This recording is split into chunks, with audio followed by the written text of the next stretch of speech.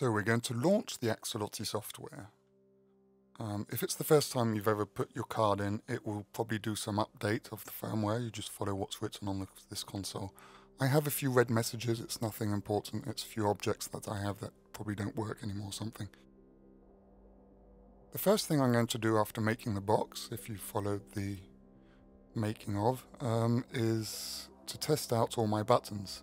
So I'm going to make a new patch by going to File, New Patch, creating this window. Let's open this to full screen. And I'm going to test my inputs. My inputs are soldered onto things called GPIO. So I double click on the background and open my object selector. So this will open an object into my patcher. So the object I want to look is GPIO, like my inputs. And here I have all the objects concerning GPIO. I want GPIO in analog because most of my pots are, or all my pots are analog. So here I have an object with an output. That means whatever I'll be doing with my knob, it will reproduce here. And this is the name of the knob. For example, PA0, PA1, so there's all the 15 knobs. If you click on this black triangle here, you have a small menu and in this menu you have help. If you click help, you get a help patch that opens concerning this object. So here there's an help patch with all the GPIOs, well all 15 of them, the analog ones, with a small display. So if I go live, that means I send this patch to my Axoloti board. It is now launching this, so I can turn a button, for example, here you can see this is my multi-position selector. So it's a pot with eight different positions. And then I can test every other pot to make sure they work. Okay, so I've already done this, I won't do it, they all work well. But it's very useful just by one click on one of these objects to have this patch to test them. So in this patch, I'm going to do what my friend asked me. That means you more or less uh, MS10 on steroids and uh, polyphonic. So on steroids, that means with more oscillators, but it will only be a one oscillator at the same time um, synthesizer. So as it's a synthesizer, I need an audio out So I'm going to search for audio here and here are my audio ins and somewhere down here I have audio out stereo. So I could have put just audio left or right as I'm only going to be working on mono but I'll be using the stereo object in case I do something with the stereo later. So this is an object that you'll probably have in all your patches unless your patch doesn't make any sound but you need this object to be able to get sound out of your card.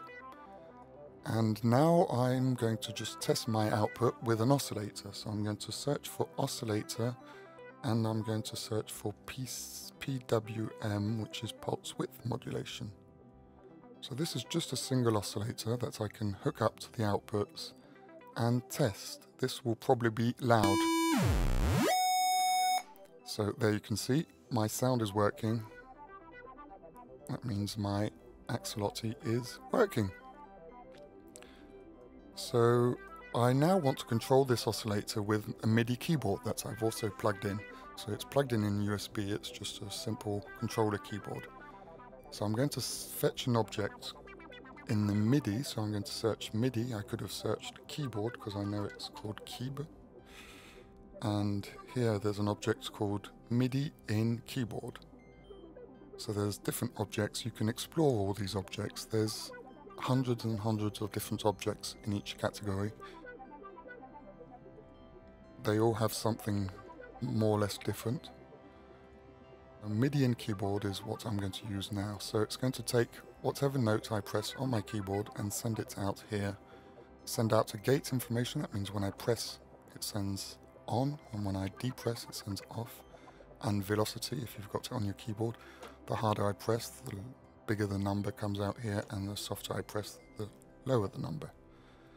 So I'm going to test my MIDI keyboard first. Uh, let's put a VCA So this is an amplifier controlled by a voltage.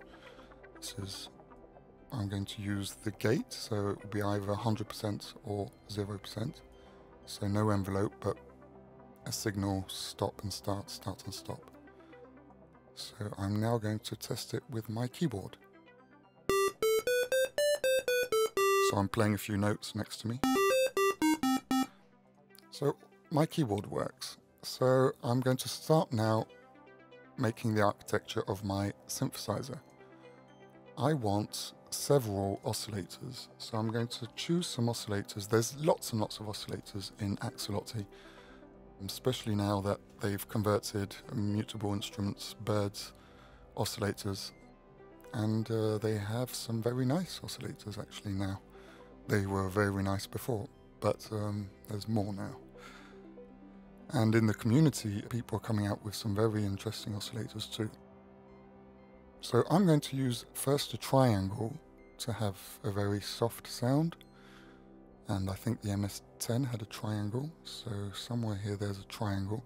But there's also a triangle fold. I've got underneath my 8 position selector to select my oscillator, I've got a variation button which can give me a variation in each oscillator. So by taking this triangle fold, I managed to have an oscillator with some variation. So actually it transforms the triangle into a multiple triangle by wavefolding the signal. So this will be my triangle. Then I want a saw. So I could search saw, I could just search oscillator and I could put a saw with super saw with a variation or there's this V saw that sends this, it's a bit like a super saw, but it's not really detuned, it's dephased. And by moving the timber quite fast, you can make it into some kind of super saw signal. It's strange, it's, it's interesting, I quite like it. It's a bit like a pulse width modulation, but with a saw. And then I'm going to use a square with pulse width modulation. Then I'm going to use some noise. I'll use some Gaussian noise. And then I'd like to use a sample maybe. So samples work by tables, by loading a sample in a table and by playing this table. So I'm going to search for table play. And this will be my sample player. And while I'm doing this, I might uh, as well put the table load to load the sample. So table allocates 16B SDRAM load. This will put a file into a name of a table, which I'll go and fetch here. So this is my sample, so I'll go and fetch my sample. I've got one called symbol something.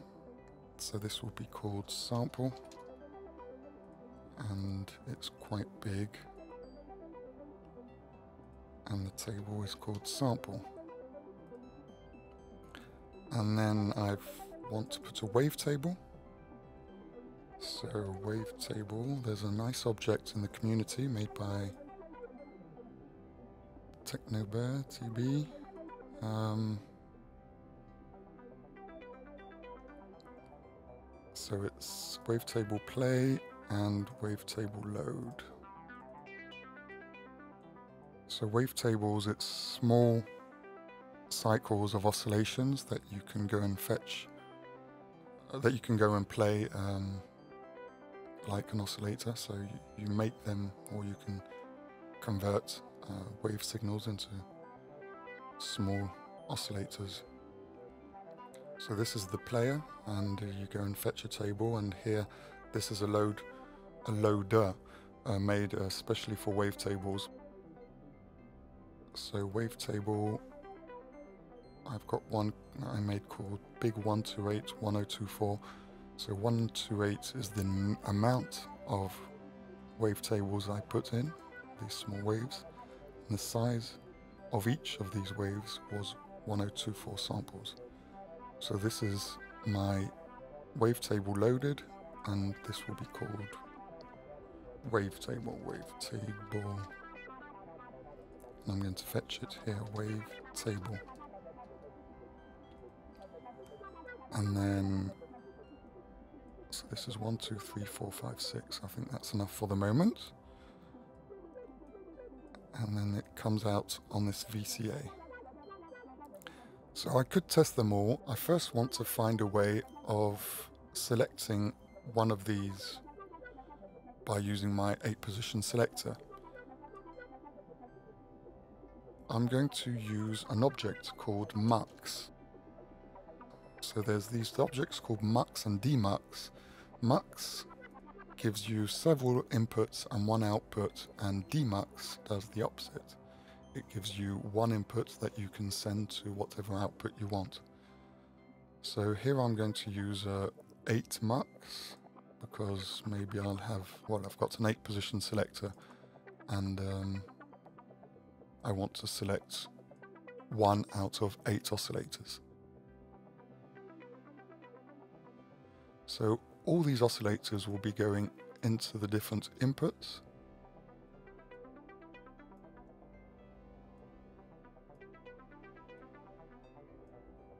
So for the moment only 6, but it's enough. And the output to the VCA. And then I need some way of using my selector. Because here in input it wants a number between 0 and 8 to be able to choose between one of these. So I'm going to fetch an object that I've actually, well it's a sub-object that I've created called SebtiSynth because it's the name of this synthesizer. I've already done this, but I'll show you what's inside. So these, this is a sub-object. It's an object that you save under a certain extension and then you can call it up as an object. And if I go down on this menu and put embed as patch patcher, it will open up this sub-object and show what's inside. So I've got my four buttons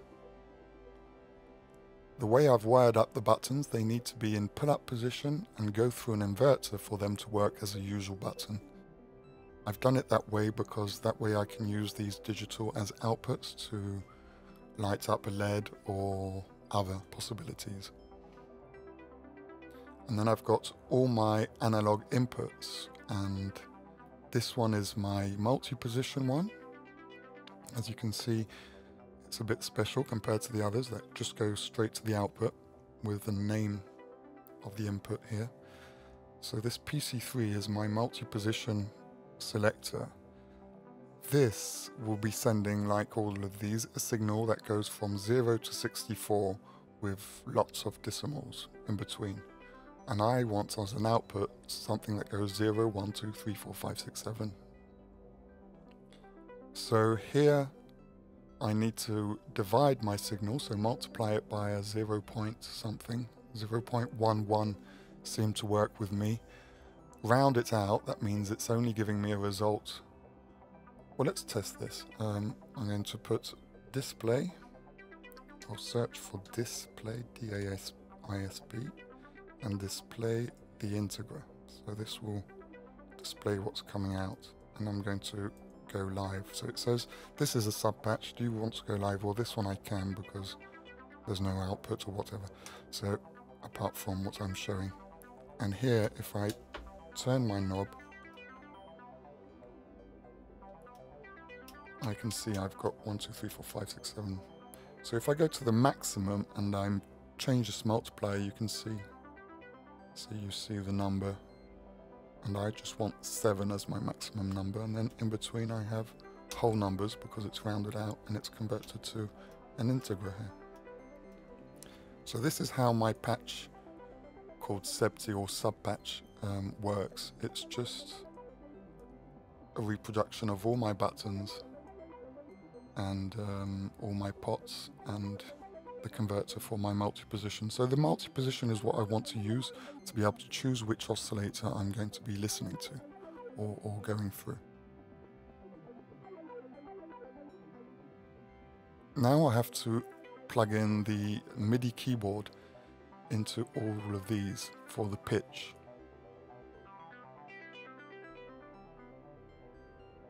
My pitch will be modulated by my keyboard by my bend and by a, a low frequency oscillator, an LFO. So I know that my pitch will be going through a mixer to mix these different signals. So I'm going to fetch this mixer, a blue mixer, so because it's um, K rate signal, control rate. So the notes need to be multiplied here by 64. That means a gain of 1 for it to be as notes are supposed to be. That means do, re, mi, fa, sol, la, si.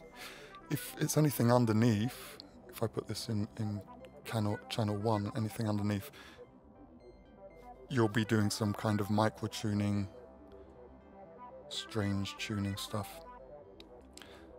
So if you put it in the bus input, it multiplies by one automatically. You have got no knob to choose the volume, so that's what I usually use for my keyboard that way.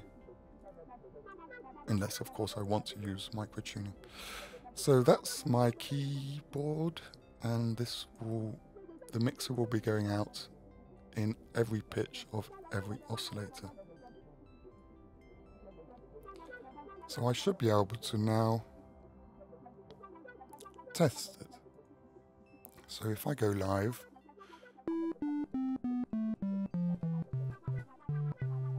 here I'm on the first position of my um, selector. I'm going to change position.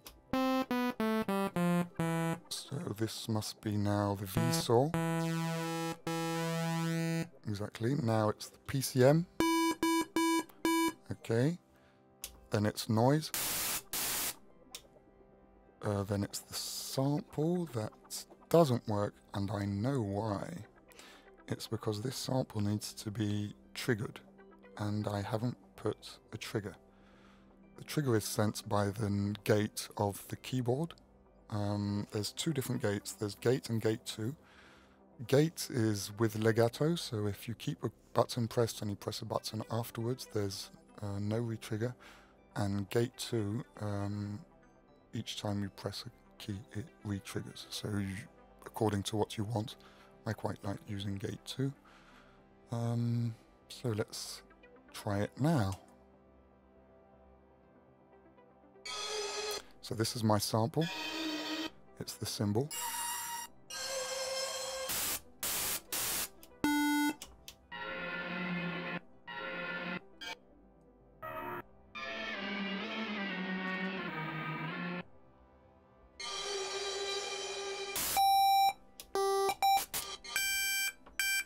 and this is my wavetable.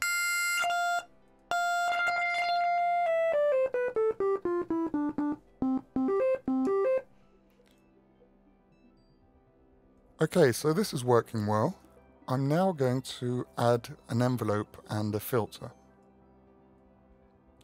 So in my envelope section, I'm going to click ENV. I want an ADSR with modulation inputs because I'm going to be using the buttons of my box.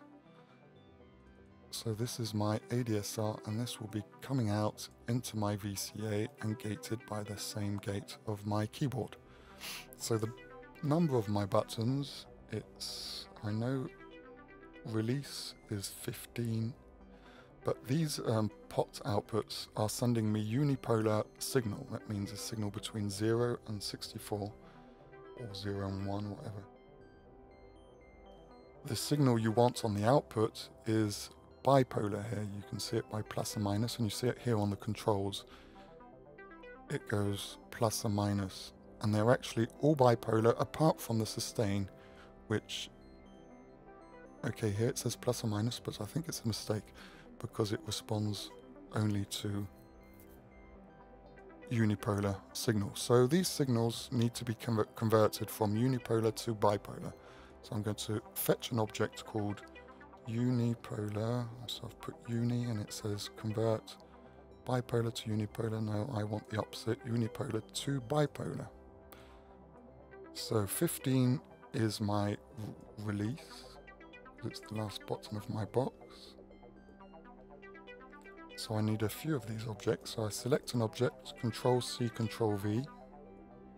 I can do that several times because I'm going to need a few.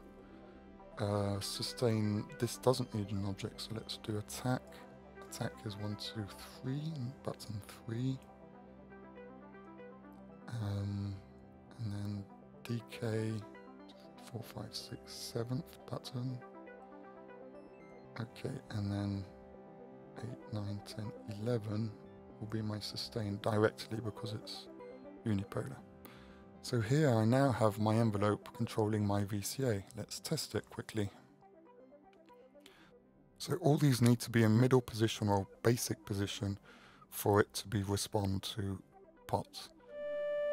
So here I put everything to zero on my pots and I have just this small click. I'm going to give more decay.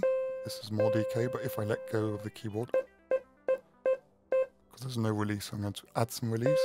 Okay, this works. Add sustain. And a bit of attack.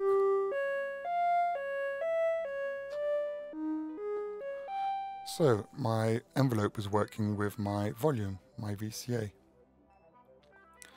I now would quite like to put a filter, so I'm going to fetch a filter, VCF, or just search filter for example, filter.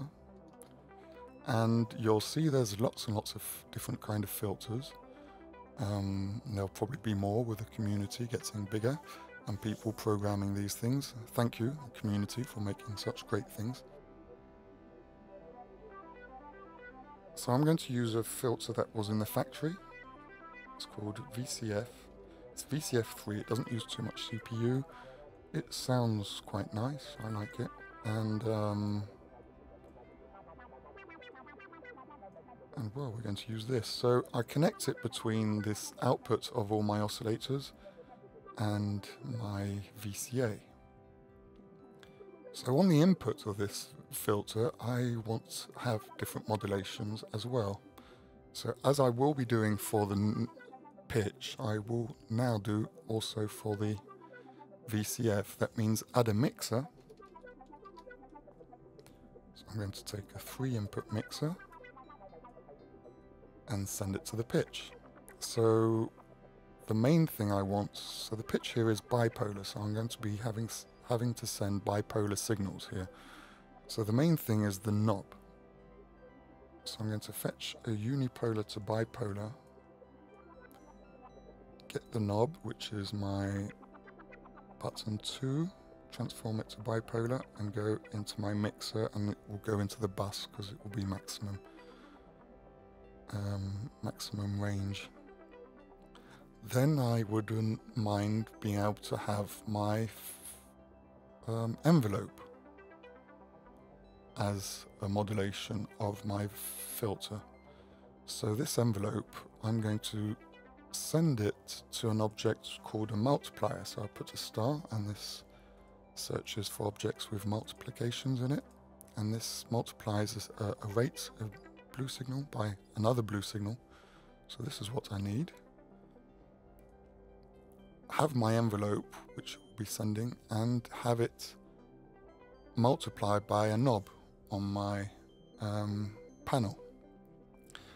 So as it's an envelope and it's on the filter, I could have it multiplied either positively or negatively because an envelope is actually an envelope is unipolar and I wouldn't mind having it bipolar before so I'm going to transform it before going into the multiplier and then the multiplier will also have a bipolar signal. That way my envelope of the filter can be inverted, which sometimes, quite rarely when it's the same filter as the um, VCA, but rarely it can be useful. So the button here is 13th button will be my multiplier. So in the middle, this button will multiply it by nothing. As soon as I go over the middle, it will be sending um, the um, envelope, and under it will be sending the inverted signal of this envelope. So this needs to be sent into my mixer and maximum because I've got an amount of control here that will go from 0 to 64 anyway, or 0 to 1. I would also like to have an LFO. So if I search for LFO, I'll find lots of different objects and I'm going to use one which is quite useful, made by someone in the community, by rlistad, sorry, or DRJ. And this object um, is an LFO which gives you different waveforms, so five different waveforms, and um, different kind of modulations and inputs. So the output of this LFO will also go through a multiplier because I want a button to choose the amount of LFO I'm sending to my filter. So this button will be, be the ninth. And this is only positive because the signal is bipolar and oh, I could have it to invert the phase too, but I don't need it, I don't think.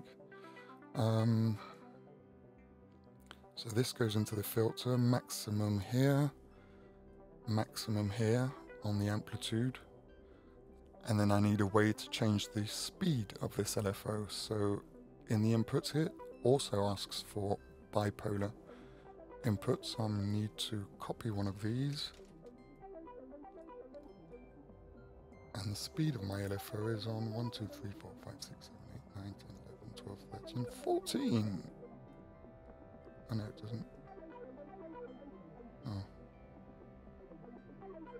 What did I put 14 on? Other quantity, this isn't 14, this is 13, sorry. 14 is my speed. So that's the speed, and then I have to have something to choose the waveform. I'm going to do the same um, trick as I did inside this object that means multiply it by a small number. means divide it and then round off the number to make it a whole number to choose the waveform. So I'm going to put multiply by C and convert to I and a display to see what numbers I'm showing up and my button here for the choice of my waveform will be my 10th button. So let's just launch this to see what's happening. So here nothing because I've got this multiplied by zero. I'm going to put my button to the maximum, my pot, and it's showing 23. I want here five or six, because I, I might add an extra one, but this is there we go, six. Perfect. So now if I go down, five, four, three, two, one, zero. So it's actually seven, it's got six. So let's go five, four, three, two, one. Perfect. Okay, so this goes into the waveform selector. So I've now got an LFO going into the multiplier, going into my mixer, going into my VCF. Well, this LFO, I also wouldn't mind it modifying my pitch. So I'm going to put another multiplier, send it into my pitch, and take the LFO out, going into this multiplier, and the button that will multiply this will be 8. So now when I turn the, my eighth knob, it will send more or less of this LFO to my pitch. So let's just try it now and see what's happening.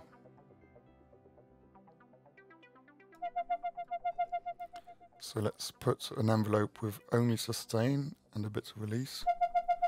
And um, so here I have, um, I had the button of um, amount of LFO on the filter.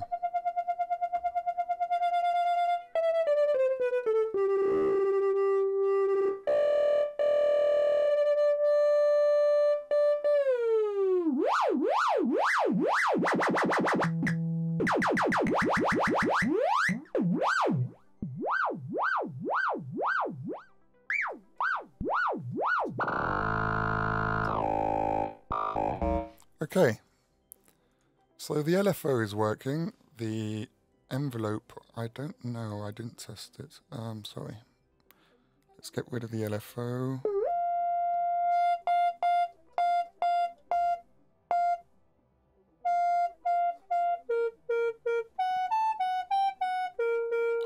So the envelope seems to be working on the VCF too. Um, I'm going to just wire in the resonance of my VCF. So this is just a single unipolar signal. So it's just my button really. One, two, three, four, five. It's my fifth output. So what have I got as buttons not being used? My fourth button is the variation of each of my oscillators. So it's the pulse width, it's the timbre on the VSAW, it's the uh, folding of the um, triangle, it's the pitch uh, start position for the sample, and it's the wavetables wavetable selection for the wavetable. Well, I'm going to um, put my um, pot, my output, onto all of these, but I also wouldn't mind having my LFO to be able to um, adjust these um, variables too. So I'm going to fetch a small mixer. I think a one position mixer will probably be enough.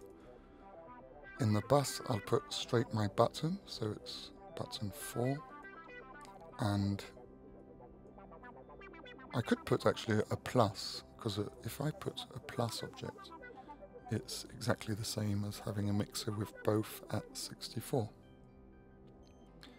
and on the other input of this it will be my LFO through a multiplier because I want to choose the quantity of um, of this LFO so 14, 13, 12 12 is my amount of LFO on the variation button. So this goes under here because this is the plus object, so you see it plus here and my, uh, multiplied here, otherwise they look exactly the same as objects. And then this comes out and goes into each variation of each oscillator. Ooh.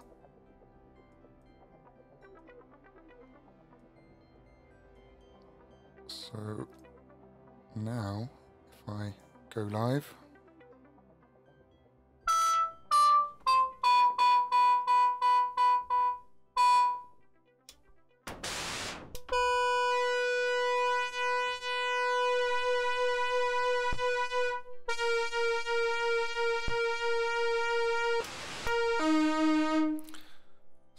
to avoid um, problems, I'm going to actually go through um, a mixer here. And um, so my button, yes, but the LFO, I only want it multiplied by 32 maximum so that it doesn't go over my signals too much.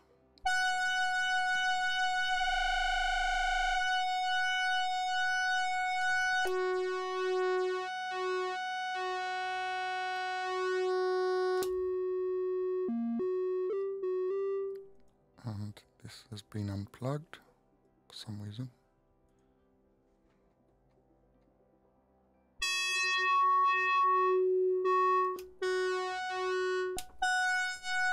So that's square pulse width. So with a bit of modulation.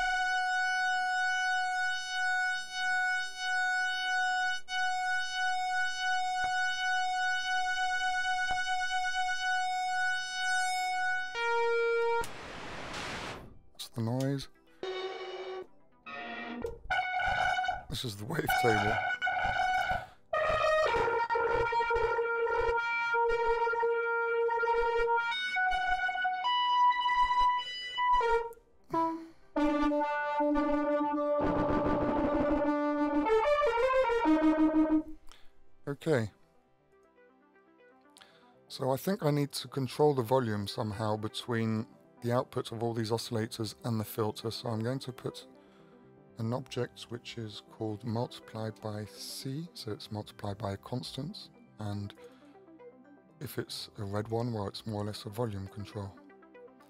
So now I have this object and I can control because it was saturating a bit.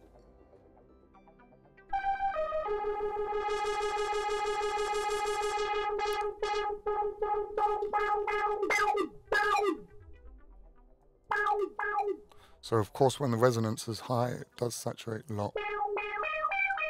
So this is probably a control I'd need to adjust.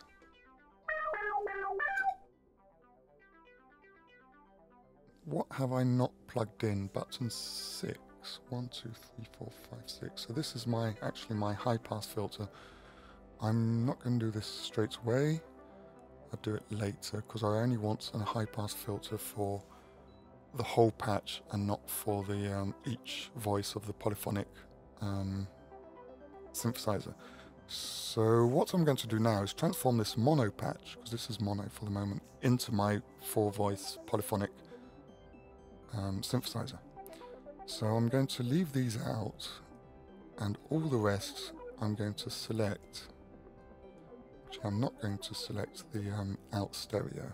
I'm just going to select all this and do a control X cut. So it's gone. Where's it gone?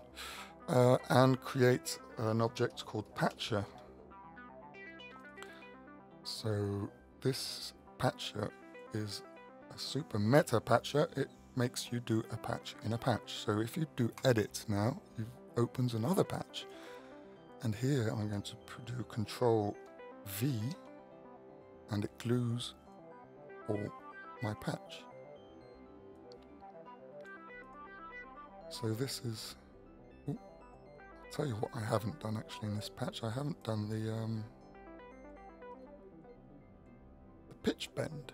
So for doing a pitch bend, it's one of these modulations. I could put also the um, ADSR envelope in the modulation maybe of the um, pitch. I did it on the first uh, version, but I prefer now to use the button for the um, for the LFO on the, the variation of, of the oscillator. So I need the pitch bend, so I'm going to double click and search for bend. And I have something called MIDI in bend, and this will go into one of my inputs. And so maximum value here of my pitch bend will be 32 semitones, so it could be 64, which is a lot. Um, I like having it on 2 when I play on the keyboards but you can put it on whatever you want or have it even adjustable. So here we're, we're in the sub patch. In this sub patch I want to be able to control a few things. Well maybe this, so I'm going to click on it and go parameter and parent and that means I'll see it when it will be in the sub patch. I wouldn't mind seeing my volume control and I think that will be enough for the moment and then I need to put an outlet. So inlets and outlets are what you see when a sub patch is put in the patch. So this will be an, an audio output and this is where the sound will be coming out. So this is my patcher. I need to now deselect all the objects. That means not have an object selected, but have none, and go to View Settings and this will be the settings of this subpatch and I want it to be polyphonic. Uh, by choosing has MIDI selector it gives you, let's do it and we'll see. So close this and now this is my subpatch. I need to update it and here we go. So it's the two knobs that I, um, two dials that I wanted to see in the parent. So this is my pitch bend range and this is the volume of the oscillators before going into the filter. And this is the audio output. This is the number of polyphony I want to use and the different MIDI I'm, I use to get into this subpatch. So here you have the choice of the different channels and the different sorry channels and the different input devices. So it could be um, Omni, that means everything. That's what I usually use because I only have one keyboard on, on a box, but if you have something in the MIDI DIN, something in the USB, well, you can choose the different input you want to use. And if in this patch, let's go edit, so this is the patch, I don't choose um, has MIDI selector, you'll find yourself like this without the MIDI channel or anything and it will just be the simple version. So I'm going to try this with a polyphonic version of four voices and I'm going to go live and just, oh, something went wrong. So I know what went wrong. That's good. Well, it's not good. Go edit here. Um, my wavetable and wave and sample are in the basic patch and this is in the sub patch. So I need to say go to the root. So it's dot dot slash dot dot slash here too. And that way it knows it's going to go to the root of the patch to fetch these tables. So hopefully it was just that. Update a few times, go live.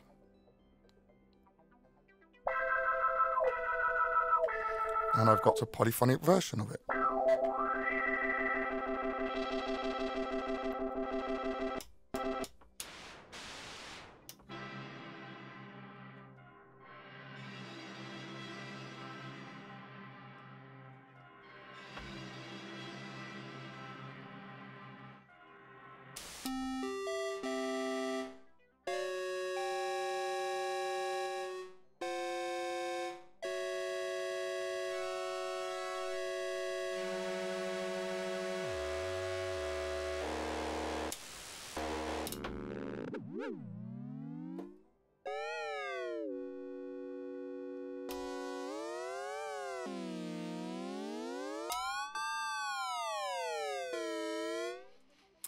So this is my basic patch. You can always spend hours and hours getting um, getting it just right and having great fun.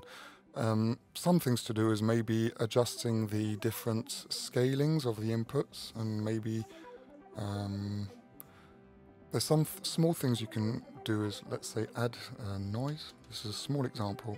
Uh, actually it's not noise, it's random. So it's a random signal in um, so like a pink noise, but at very slow speed, that means control speed. I'm going to put this into the um, uh, input of the pitch. I could also put the same one actually into the uh, filter here. And then I'm going to say, show me these inputs, and then we'll see what it does. So I've just put noise sources into the pitch and into the um, pitch of the filter, into the cutoff. So let's go live here and put them down. It wasn't those, was it? And just gets a simple sound.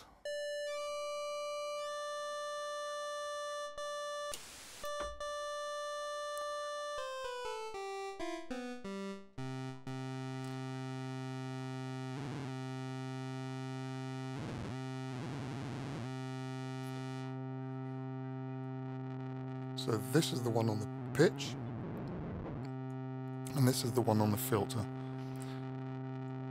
So the base is to use this as some kind of small randomness. So to use it with very small numbers, something like 0.01, especially for the pitch, because otherwise you're getting into really strange noises. And it gives us tiny bits of instability to the oscillator, which is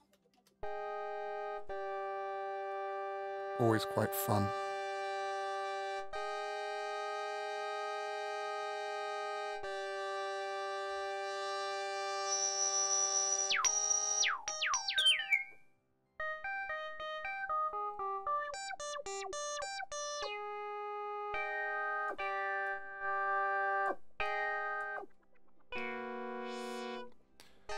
So that's the kind of thing that you can add. You can really do whatever you want, change the oscillators. Um, so normally what I'd do now is add uh, the high pass filter.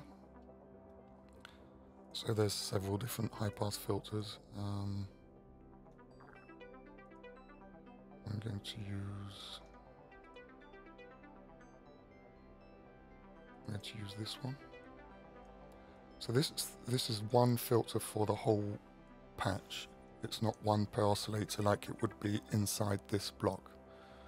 and I'm going to go and get my GPIO which is an analog and it's my button C2, PC2. So this pitch is bipolar, it goes from minus to posi positive, and my button is only unipolar, so I need a unipolar to bipolar converter, and this is my high pass filter. So normally now, if I go live,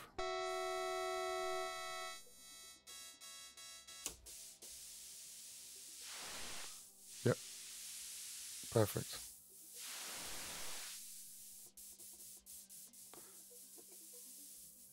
So you can't see anything move here because it's me moving the control. I mean, I could do it like this too, but as I'm controlling it by this modulation input, it's my button and you don't see it really, unless you put a display. And you can display a button what I mean dial, um, bipolar. And that way you'd see where my button is.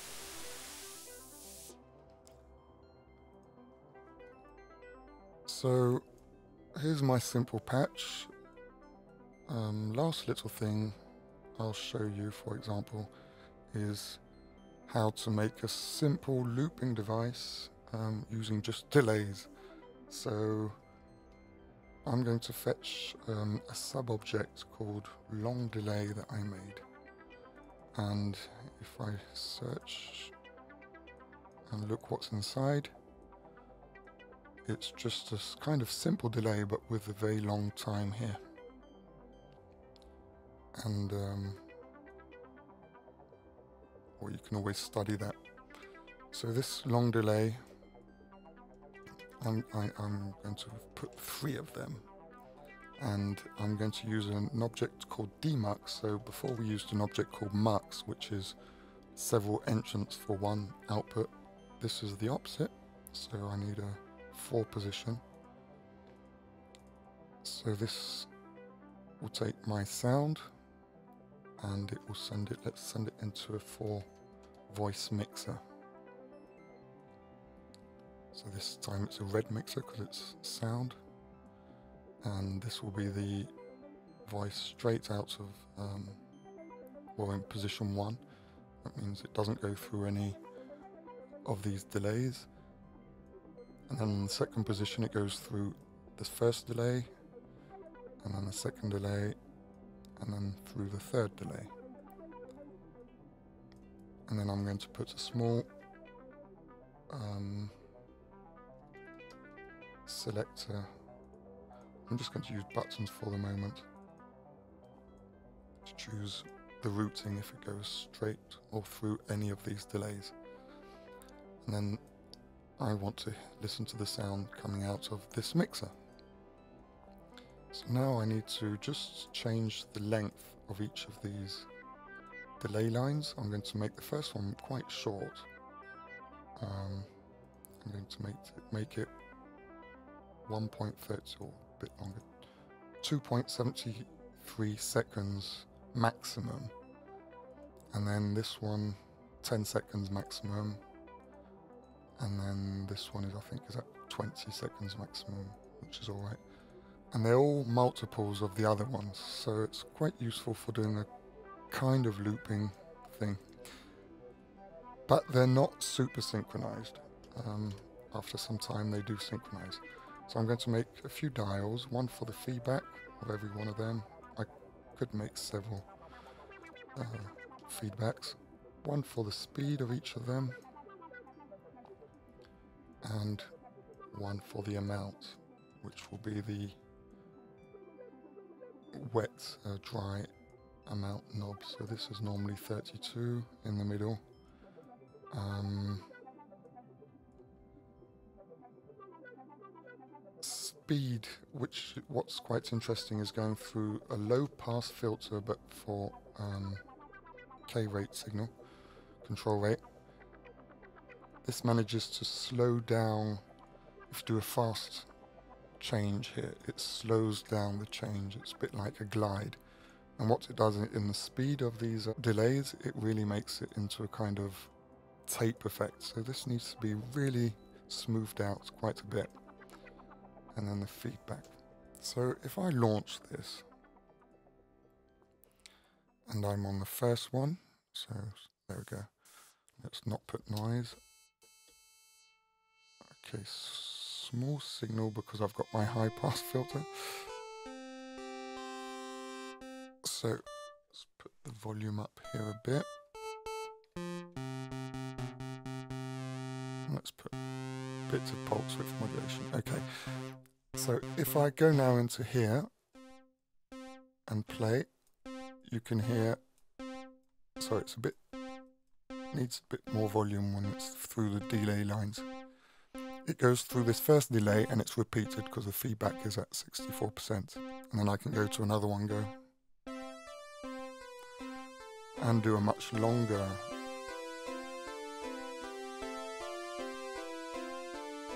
This is the amount that I need to put down because it's a bit louder just after playing them. And then the third one.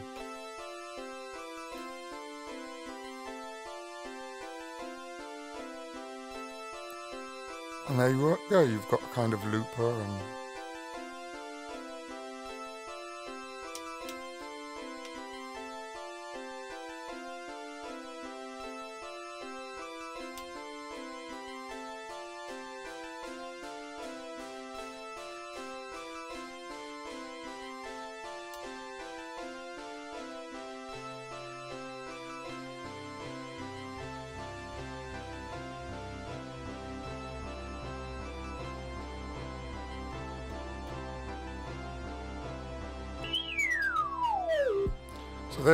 just me playing around. And it's, well, it took me probably an hour to do this patch, but this is just one small example of the kind of things you can do with Axoloti. And as you could see, uh, the CPU is not very high, so I've still got I've still got a bit more CPU where I could add an extra oscillator, I could add a real-time sampler and and get everything just right.